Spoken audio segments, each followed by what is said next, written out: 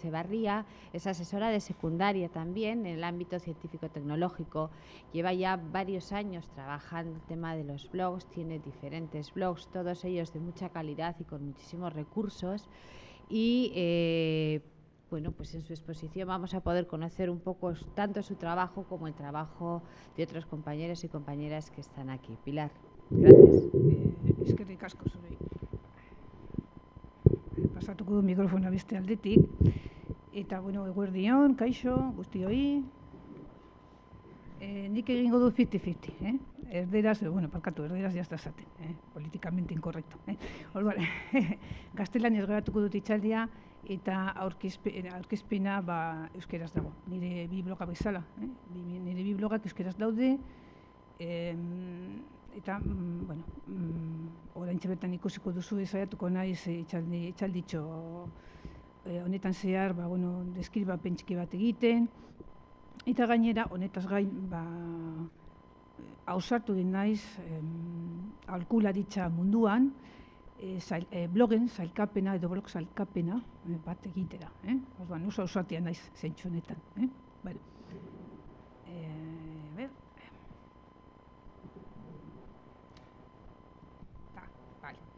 Eh, orduan, eh, bueno, vamos a ver, estaba comentando mm, y me pasado una diapositiva, la primera en la frente. Eh, perdón, parcatú, que me voy para aquí. Bueno, em, eh, como me imagino que hace todo el mundo al principio, pues contar un poco la historia, ¿no? Contar un poco cómo surgió la idea. Cuando me llamaron para hacer esta, esta pequeña intervención aquí en, en Getxo Blogak, em, lo, que, lo que se pretendía era que comentase un blog, uno de los dos blog, blog- me cuesta hasta decir blog, aquí es una palabra que cuesta, ¿verdad? Decirla blog. Em, comentar el blog Ciencia Berry. ¿eh? Y bueno, como me imagino que muchos de vosotros, por las entradas que he visto que se han disparado, eh, le comentaba antes a Maite Goñi em, que suelo tener de 6 a 10 al mes. ¿eh? Y de repente ahora, pues con esta propaganda me han pasado a 120. Y estoy contentísima, oye. ¿eh? Bien, eh, decía que quizás porque alguno alguna de vosotras eh, igual está interesado en conocerlo, pues sí lo voy a describir. eh, pero voy a hacer esto, esta descripción, y luego lo que voy a, a- a tratar de hacer eh, es una clasificación, una taxonomía de blogs que se lleva tanto hoy en día, ¿no? pero mm, en el tema del asesoramiento, que es el tema que me ocupa, asesoramiento al profesorado. Bueno, hace cuatro años, eh, bueno, pues tuve una idea que no era una idea nueva, retomé una vieja idea eh, que hacíamos ya cuando el Berrechegún en Leyoa era COP, o sea que fijaros cuántos años hace, eh, enviábamos eh, trime- trimestralmente a los centros un boletín informativo, en ese caso era en papel, fotocopiado y tal, ¿no? con las novedades que iban saliendo pues, en, en- textos, en artículos que eran interesantes, etc. Eh, claro, ya pasados los años, eh, el papel eh, bueno, pues es un formato, pero según dicen los expertos, casi el 70% de la información está en Internet. Mm, Yo no me meto, eso dicen, eso se lee. Y la información académica, pues más, más del 70%. Eh, con lo cual, hacer algo informativo para el profesorado que no tratase mm, lo que hay en la red, ¿eh? los recursos que hay en la red, pues parecía ya eh, un poco irrisorio. ¿no? Entonces, se me ocurrió hacer, retomar la idea, hacer un boletín informativo, pero para contar un poco lo los recursos que había en Internet en el campo de eh, las ciencias, las matemáticas y la tecnología, que aunque no lo parezca, hay mucho, ¿eh? porque muchas veces cuando se habla de estos temas, eh, no sé, parece que solo hay cosas de lengua, eh, etcétera, ¿no? Pues bueno, ¿hay alguien de ciencias aquí? ¿A mí mates? Sí. Tú ya sé, Aníbal, que lo has comentado, ¿no? Vale. Bueno, eh, pocos, pero muy presentes en el. bueno. Entonces, em, eh, ¿qué hice hace cuatro años? Todo esto comenzó hace cuatro años y lo que hice fue pues, una primera aproximación. Eh, lo escribía en Word, eh, lo guardaba con formato HTML y lo mandaba mensualmente al profesorado, así como si fuese un boletín, así en bonito. Este que tenéis aquí pues, es el primero que hice. Fijaros lo que puse, kaixo, zientziarak estimatuak, bla, bla, bla, bla, bla, bla. Momentuz guztiz anarkikoa da, ez formatorik, ez baina etorkizunarik izango te du. O sea, me preguntaba si iba a tener futuro. Eh, pues mira, sí lo tiene, menos mal, ¿no? Bueno, Eh, pero claro, esto era un formato que eh, mi, objetivo con esto era que, eh, bueno, pues que los profes em, le quitasen el miedo un poquito a esto de la informática. Y además que pudiesen abrirlo bien. Un formato Word se abre bien desde el centro, tiene una serie de enlaces y, tal. Pero a los dos años mm, ya tenía la suficiente información como para decidirme a hacer una página web, claro, que es lo que pensamos todo el mundo pero me encontré con el fenómeno blog. ¿eh? hace dos años, eh, bueno, pues me pregunté, ya tenía maquetada incluso la página en, el carrequín.org, que es el portal del profesorado aquí, cuando de repente pues me di cuenta de que con un blog tenía muchísimas más oportunidades. Me hacía el servicio, ¿no? Eh, y encima, y más, el servicio de página web, de sitio web y más. Entonces, la primera versión, bueno, yo empecé a buscar algún, eh, alguna aplicación, algún servidor que me permitiese hacerlo en euskera sin tener que meterme en, las tripas de la bitácora y tener que teclear. Y, ¿eh? y encontré ahí, al cual le hice 52 entraditas. Em, y ahora la segunda versión está en Ireblog, ¿eh? que ya como veis me he puesto las pilas y ya tengo 110.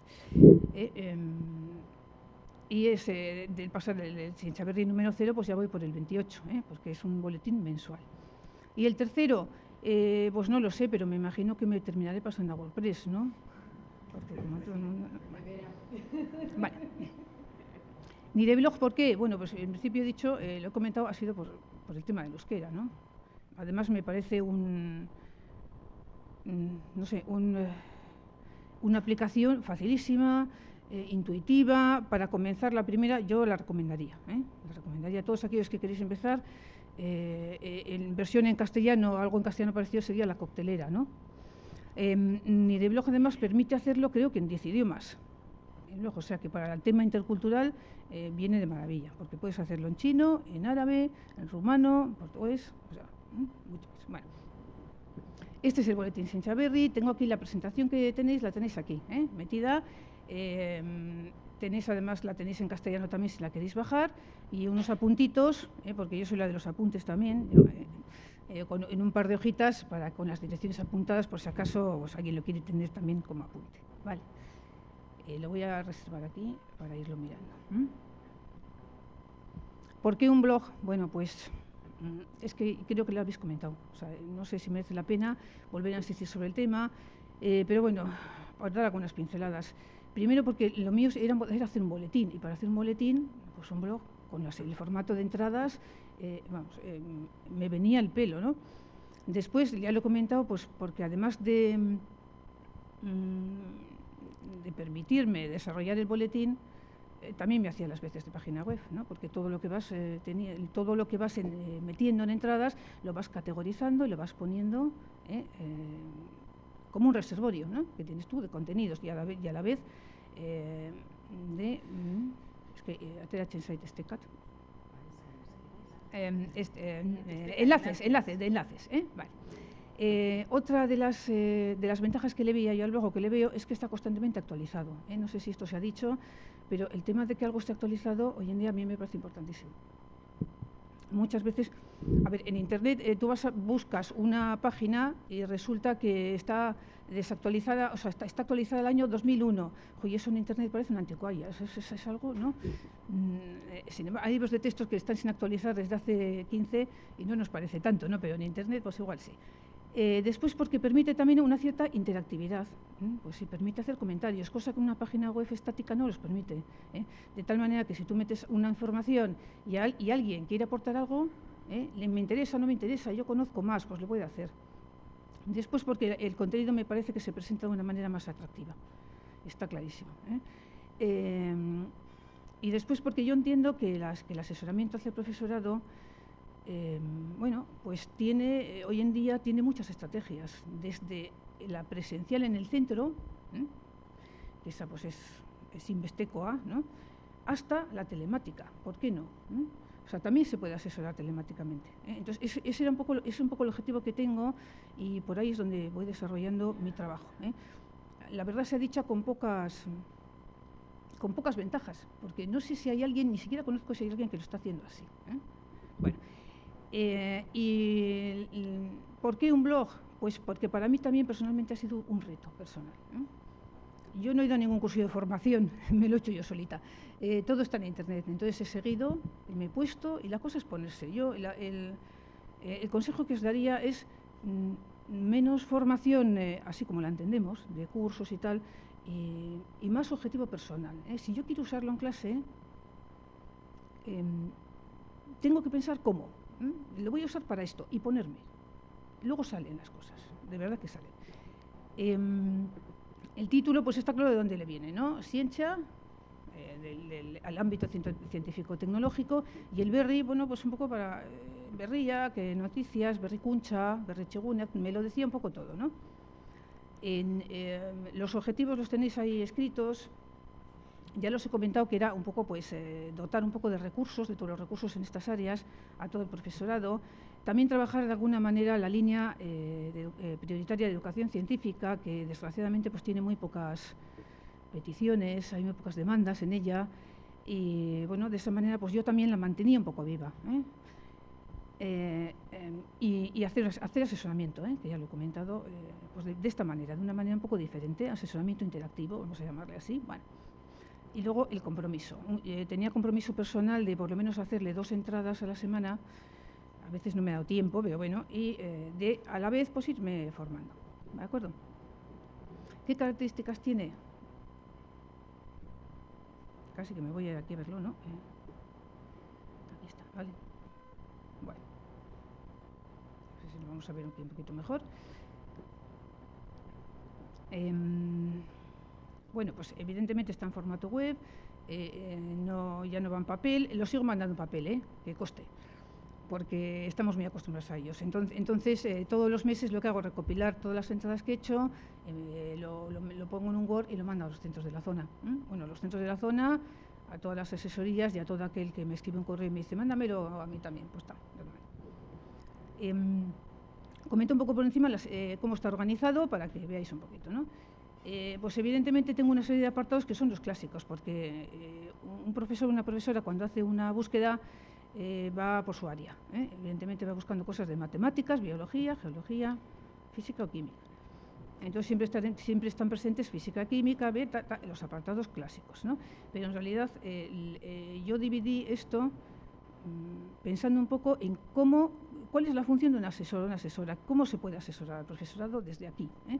Entonces, em, eh, bueno, hay un apartado de novedades, digamos, que es donde se recopilan todas aquellas informaciones que no tienen cabida en otros apartados, evidentemente. ¿eh? Pues, por ejemplo, esto, ¿eh? lo de hoy. ¿De acuerdo? que si nos anda un premio de calidad, taca ahí, que si, no sé, algún, alguna convocatoria por ahí suelta, etcétera. Tiene también otro apartado a ver si lo, por aquí. Que, le llamo Gayak. A ver, Gayak, ¿qué es? Eh, pues es la manía que tenemos todos de hacer listados de cosas. ¿eh? Yo también tengo esa manía.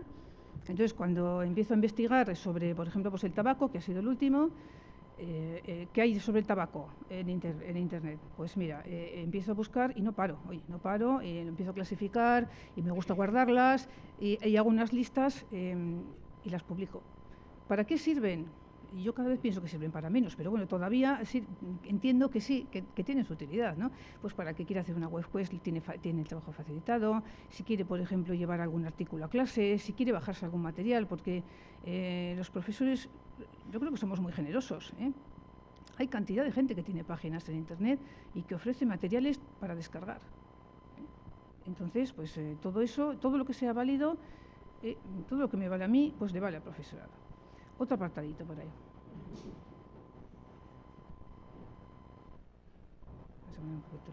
Me, me controlas el tiempo, por favor, que yo me, me tiendo a enrollar bastante. Entonces, poco. Eh, bueno, eh, ¿de acuerdo? En cinco minutos no puedo, me voy a estirar un poquito más. Eh, en Chocoac, eh, darle un poco juego al profesorado.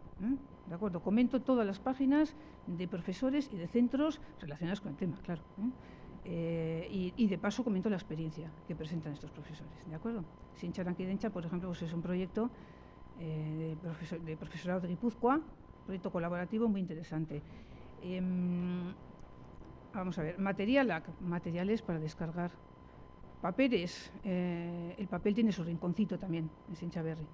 O sea, si hay algún artículo interesante, un libro bueno, pues también está ahí comentado. Formación, evidentemente, uno de los capítulos más importantes del asesoramiento es la formación.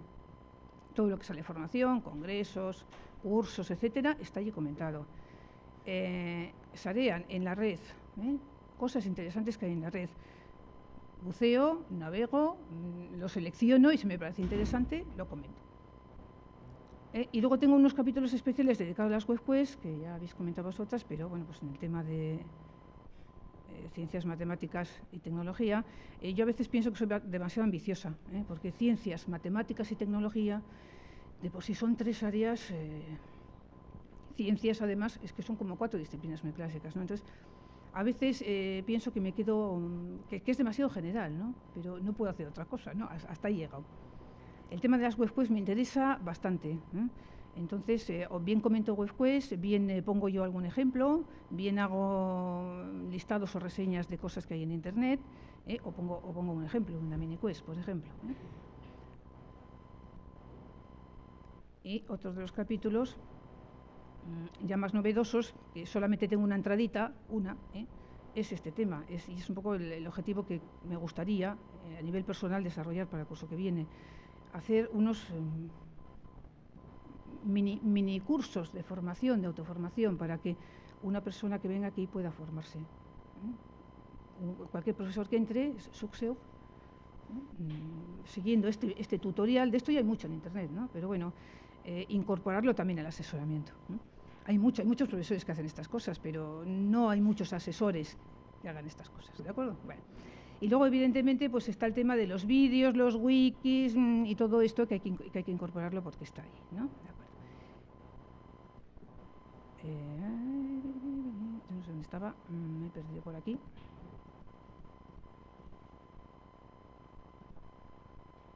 Hasta le he puesto el título, me, acabo de inventar la palabra aolcubloga, no sé si existe, ¿eh? creo que además hay una tendencia ahora en, la blogosfera a, hacer una especie de diccionario ¿no? de blogosférico. ¿eh?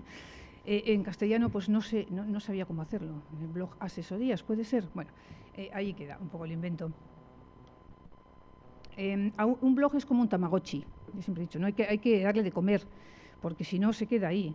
y ya se ha comentado aquí, han comentado muchísimas utilidades que hay por ahí en Internet Mm, donde tú puedes subir cosas, o sea, tú pasas de, eh, tu ordenador, eh, subes tus cosas, tus vídeos, tus presentaciones, eh, imágenes, fotografías, textos, documentos, PDF, etcétera, y otros reservarios de contenidos que hay por ahí, y luego de aquí sencillamente los metes en tu blog. ¿De acuerdo? Entonces, pues estos son los que normalmente utilizo. Hay muchísimos más, evidentemente. Y las informaciones, ¿no? A mí hay, mm, bueno, compañeros que me preguntan, ¿Y de dónde sacas la información para comentar tanto? Bueno, pues también de varios sitios. ¿eh? esa es otra de las fuentes de los blogs. ¿De dónde saco? Primero de, los, de otros blogs.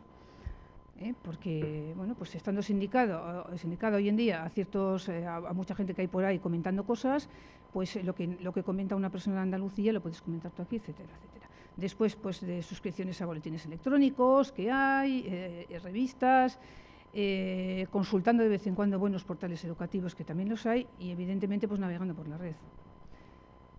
Eh, otro de los blogs que tengo es Leyoko Hipiak, lo, eh, os dejo ahí la referencia, está dedicado a los profesores y profesoras de refuerzo lingüístico, en este caso del seminario de Leyoa, pero bueno, pues es una especie de escaparate también de, todos los, los recursos que puedan disponer en estos momentos eh, para trabajar el tema de enseñanza de segundas lenguas a, alumnado inmigrante.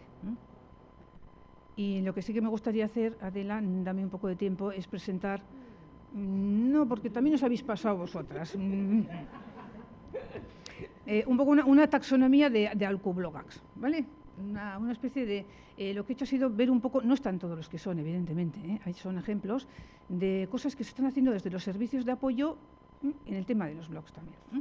Entonces, por ejemplo, pues me he permitido clasificarlos en, eh, bitácoras generalistas, que son, digamos, el escaparate de la página web del propio Brechegune, ¿no? Pues, por ejemplo, la, del mío. La voy a enseñar, que si no... Em, recién estrenadita, Bueno, pues está hecha en WordPress.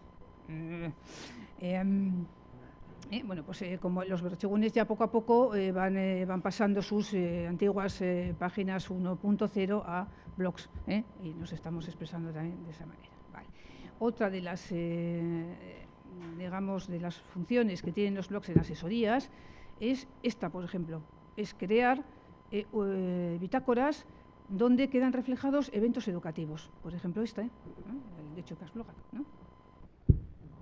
O sea, ahí queda eh, para memoria todo lo que me imagino eh, haremos aquí. ¿eh? Estamos haciendo y, lo que seguiremos haciendo. O sea que es otro de los servicios que puede ofrecer los servicios de apoyo o las asesorías en este sentido. De hecho, Lingüe, las, últimas jornadas, por ejemplo, de proyectos innovadores en Guipúzcoa, etc. Formación, otro de los capítulos importantes. Blogueando, pues ya os lo acaban de presentar el, pues no sé, eh, formación ligada pues bien a cursos o bien a seminarios. Eh, el, seminario de CAT, por ejemplo, de, de el curso Aprender y Compartir de, Miguel Luis Vidal, que está por aquí, luego os comentará en, la cosa, eh, pues son blogs hechos para formar, tomados como cursos. Y luego tenemos pues las asesorías, que hacemos cositas de nuestra área, cada uno su área. Pues, por ejemplo, voy a abrir el de Ana, que es mi compañera, eh, que tiene un blog pues, para el ámbito social lingüístico, es de lengua e historia, ¿eh? ¿de acuerdo? ¿Eh? Yo lo tengo para el otro ámbito, es lo mismo, el, concepto es una bitácora de recursos para el profesorado, ¿de acuerdo? Miguel Luis Vidal pues tiene la bitácora de Galeón, por ejemplo Marisa Domínguez ha creado un blog para donde da cabida a todas las cepas de Vizcaya. Bueno, pues poco a poco también estamos presentes en la blogosfera. Y luego para terminar, eh, bueno, pues hay algunos que lo que, lo que hacen es em, dar cabida a temas educativos eh, muy generalistas. Ya no son el, escaparate del Berrechegune, eh, sino que son otro tipo de blogs, bien colectivos o bien personales, pero donde cabe cualquier tema educativo. Uno de ellos es Ciberescola, que ya os lo van a contar después. Y em, otro que se me gustaría mencionar, y se me ha puesto a hablar, el susodicho, eh, es Escucha Televista Bloga. A ver, Josi, es que eh, me hubiese gustado invitarle a Josi para que viniese aquí y lo comentase el mismo, aunque solo sean dos minutitos, porque no sé si lo conocéis, pero yo le, me gustaría dar difusión a este blog. Josi Sierra, que es este chico que está ahí grabándonos, ¿eh? así bajito, tiene este maravilloso blog donde tiene más de 300 y pico vídeos recopilados de todas estas cosas que se hacen ¿eh? O sea que este chico y este chico y esta chavalita, eh, nos veremos todos aquí puestos. Está aquí Aníbal, ya puesto. Bueno, me parece que es un, es un videoblog en estos distintos, un formato distinto, pero bueno, eh, me parece un trabajo no sé, de, gigantes y creo que, que, que, merece la pena dedicar una atención especial. Yo creo que debería haber estado aquí representado. Em, y bueno, pues es un poco lo que tengo que decir. Eh, me hubiese gustado hacer unas conclusiones. Sí, todo el mundo hace conclusiones aquí, ¿no? Em, pero yo prefiero dejarlas para la tarde. Prefiero dejarlas para la tarde. ¿eh? Eh, cuando bueno, pues estemos, esté un poco el ambiente más caldeado y tal, ¿no? Porque quizás, además, si vosotros sois profesores, profesoras de aula, y el tema del asesoramiento, pues igual eh, os toca más de refilón, eh, o no os interesa tanto. Entonces, pues a la tarde, si salen temas, sí que me gustaría pues, crear un poco polémica. ¿Qué es lo que esperáis del servicio de apoyo? ¿no? ¿Cómo os podemos ayudar mm, con este medio? ¿Mm? Es un poco la pregunta que lanzaría yo al, al wiki que tenemos por ahí preparado. ¿Vale? Muchas gracias, Millasker.